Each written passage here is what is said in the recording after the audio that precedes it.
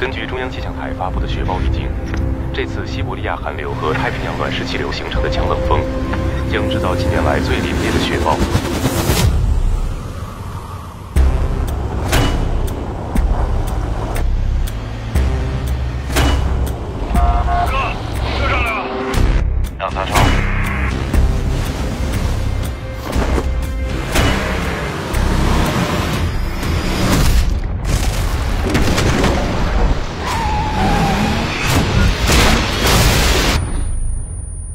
各执勤部门注意，千年湖情况四二八号清楚，四十分钟之前失联。听听外面的风声，就像人死前的哀嚎，让人绝望。